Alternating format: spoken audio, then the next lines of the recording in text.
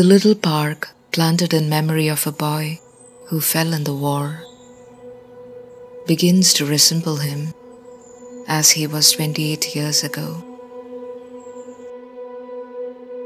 Year by year, they look more alike. His old parents come almost daily to sit on a bench and look at him. And every night, the memory in the garden hums like a little motor.